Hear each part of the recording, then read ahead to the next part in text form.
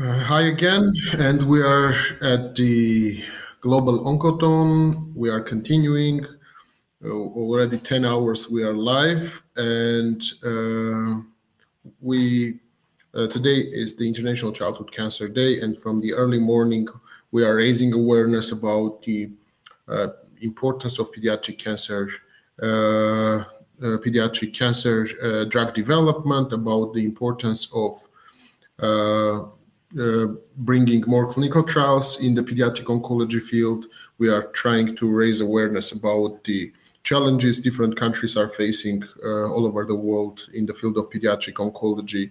And from early morning, we have uh, distinguished guests from various countries with their own problems. And right now, we are coming to our next session. Uh, yeah, and uh, by the way, of course, the oncothon from the name also it's understandable that we're raising uh, uh, raising uh, funds for for pediatric cancer research.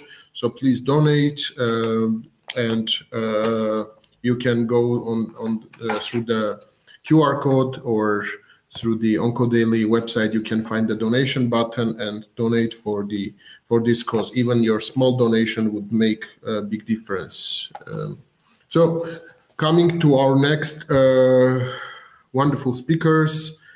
Uh, I, it's a great honor for me to introduce uh, Her Excellency Dr. Zainab Shinkafi Bagudu, who, uh, who is the chair of the First Ladies uh, Against Cancer Initiative.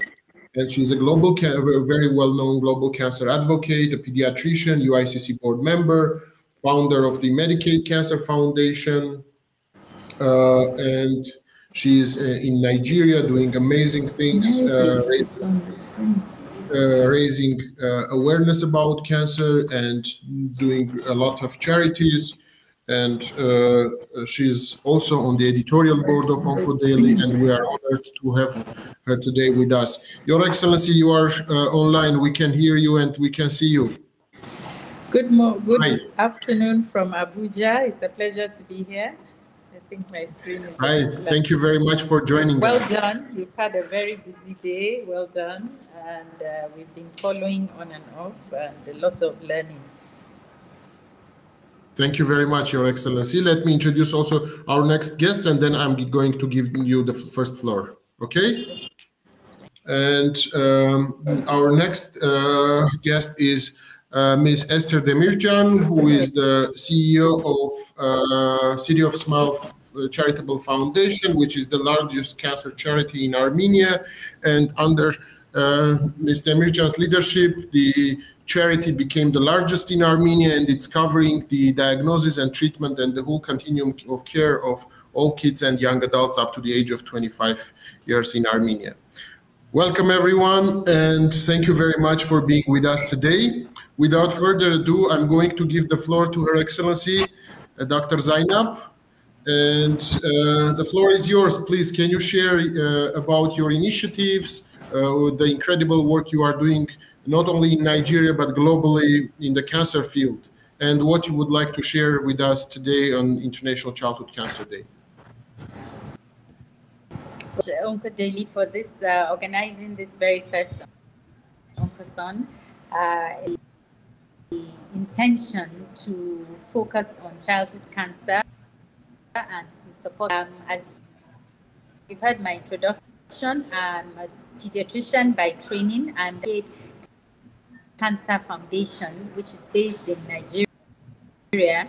Uh, the pillars awareness treatment supports patient navigation palliative care capacity building and training and especially advocating for policies around cancer control so this um, makes us focus nationally on issues that have to do with cancer, particularly in the low middle income disparities that exist.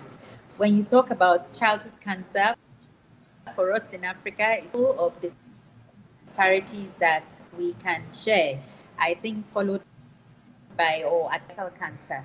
The reason for this is that we still have such poor outcomes despite chemotherapy for a lot of the uh, childhood cancers, and the uh, only 25% uh, have a survival rates in of Africa and other low middle income countries. In some areas, it's even less. Is that we try to focus on working with the government to try to include pediatric drugs in access programs. There are national and access programs that through which patients are able to get patient. Uh, but initially, the childhood cancers were not involved. But now we're working with different partners, with incoming from development, uh, larger hospitals. We had a workshop for the St. Jude's Nigeria with their programs. We had a workshop just a couple of weeks ago as were putting to try to and the context of childhood cancer and to prioritize the solutions that will be. There's a lot going on, a lot more than we used to have. Of course, the capacity of healthcare professionals, whether we're talking about the doctors, the nurses, the x-rays, is not at where it should be. And this is what leads us diagnosis. The clinical, the degree of diagnosing infectious diseases is much,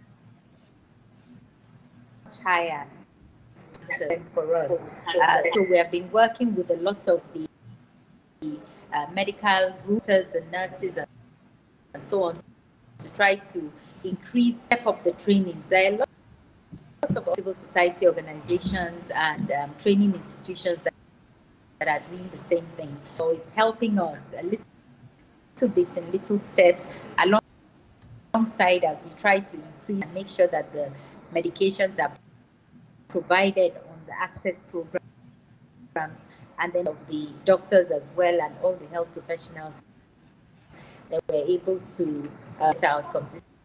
It's definitely not where it should be. Uh, we, we have a lot of uh, add on that some political instability and the big elephants, financial uh, for most families out of pocket spending is really high. There's no insurance cover how much more childhood can.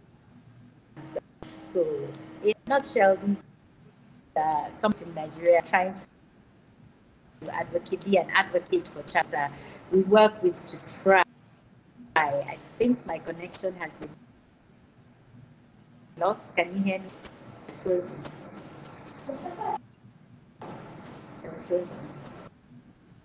He yes, yes. Uh, Your Excellency, we can hear you. Okay. My connection Sometimes was lost. the connectivity was going and coming, but so yeah, we received your message. So a little bit. That's okay. In uh, different parts Sorry. of the world, the connectivity is, I mean, lagging behind sometimes. We also have this problem. I don't know. Usually, internet here is very good, but today we had some crazy internet, but that's okay. Thank you very much for your uh, wonderful message, and I'm going to. We we certainly uh, heard your message, and thank you very much for that. And I'm going to give the floor to uh, Ms. Ester Demirtshyan to share her perspective about uh, about what we are doing and her message on International Childhood Cancer Day and uh, about the Global Oncothon. Good afternoon. Uh, it is definitely a great honor for me to be part of this really esteemed group. Uh, I want to thank you because three of you are doctors, and I want to thank you, three of you, and of course, all the other doctors for the amazing work you guys do. And of course, Professor, I want to compliment you on this amazing initiative where you have united so many passionate advocates and people who are really caring and people who are really doing their best to help survivorship increase, to help children who are fighting cancer all over the world. Because um, I think experience and our knowledge sharing and everything that we do definitely proves that we share so many common problems and so many common issues that we are fighting, no matter which part of the world we live in. And um, by uniting our efforts, I truly believe that yes, we can achieve better results, we can make it better, we can really one day hopefully achieve when really no can no child dies of cancer at least without given being given a chance to be cured um, as Professor Tamamyan has mentioned, I lead the foundation that supports children and young adults in Armenia through the age of 25, and we fully fund their treatment in Armenia. And literally every single child that has cancer in Armenia is our beneficiary um, because we are also one of the developing countries, so out of pocket expenses are unbearable for the 95% of our population. So if it wasn't for the foundation, unfortunately, we would have had huge abandonment rate, but we're lucky enough to have really uh, great community, generous donors who are supportive of the cause and help us um, in supporting the kids that need the care and, and, and treatment.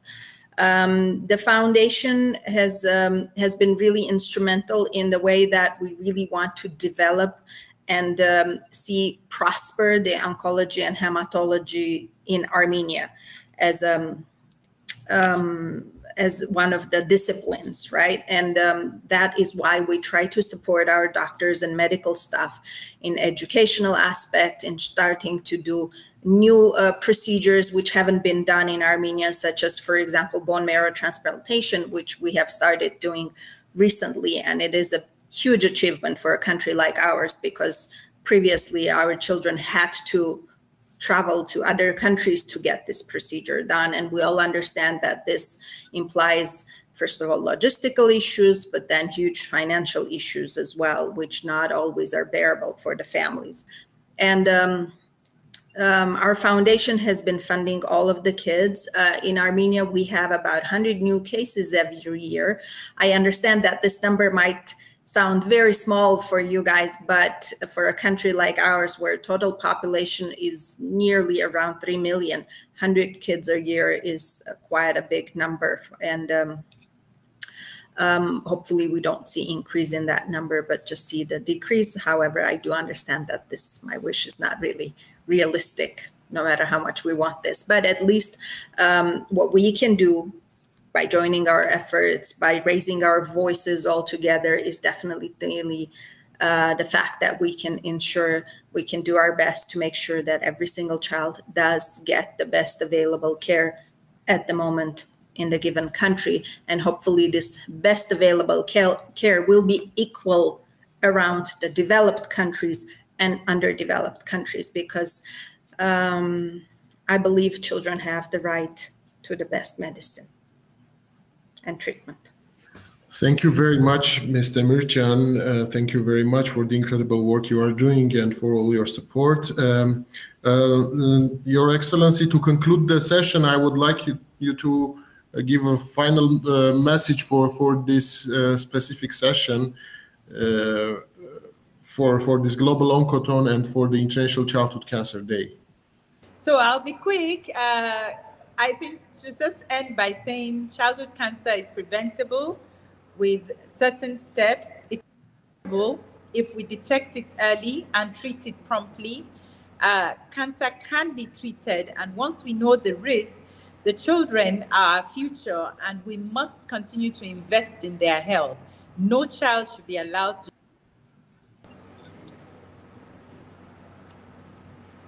I think Dr. Zainab wanted to say that no child should be without treatment. Thank you very much, everyone. Thank you very much for joining and being with us today. Thank uh, you. thanks a lot. Thank and you. To, to, the public, again, we are pleased. Uh, you see the on the at the bottom line the donation, uh, and let's just spread the news about it and yeah. Uh, let's help to support the uh, this um, uh, very noble mission of OncoHeroes Biosciences. Thank you very much. Let's Thank continue. you and great, great initiative. Thank you. Thanks. Thank you. Okay.